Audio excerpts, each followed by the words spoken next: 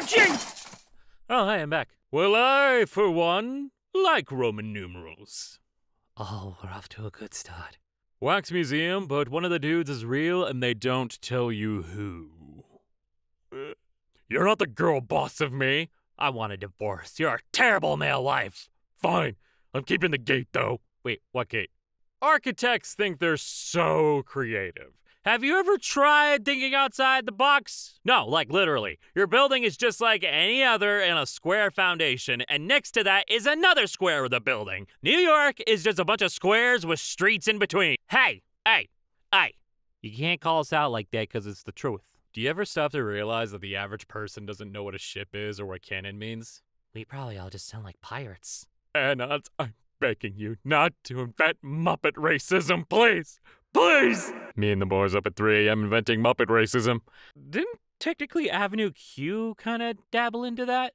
Someone in my younger siblings' class said they were yandere for them, and my sibling responded, first of all, cringe, second of all, red flag.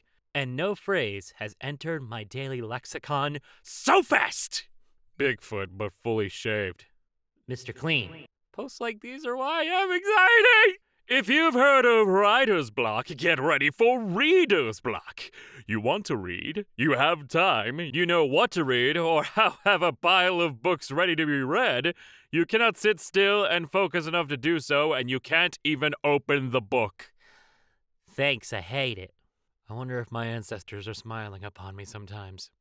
You, making a little thing with clay, the ghost of Australopithecus. Yes, yes, yes, yes! Wait, gays can read? Guys, what does that say? I don't know.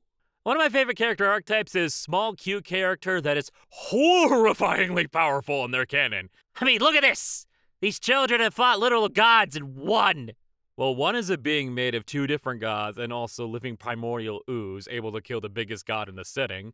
One with a soul that is equivalent to every single monster soul combined with the power of mental time travel through sheer force of will.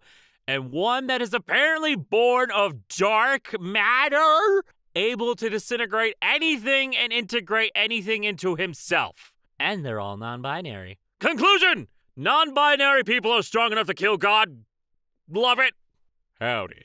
May I offer you a cup of warm boy? Yes, you can, thank you.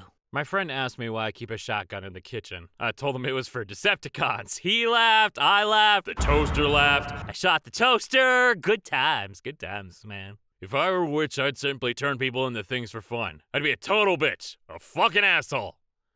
So, no change then. Damn straight! The fact that 2021 begun with a sea shanty renaissance and three months later ships are back on the 1700 trade routes is actually extremely funny. Fuck, why did I ever think about this?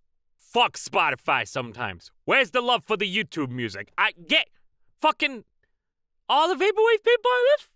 Not even on Spotify. Fucking use YouTube music. Do it. Do it right now. What are you doing?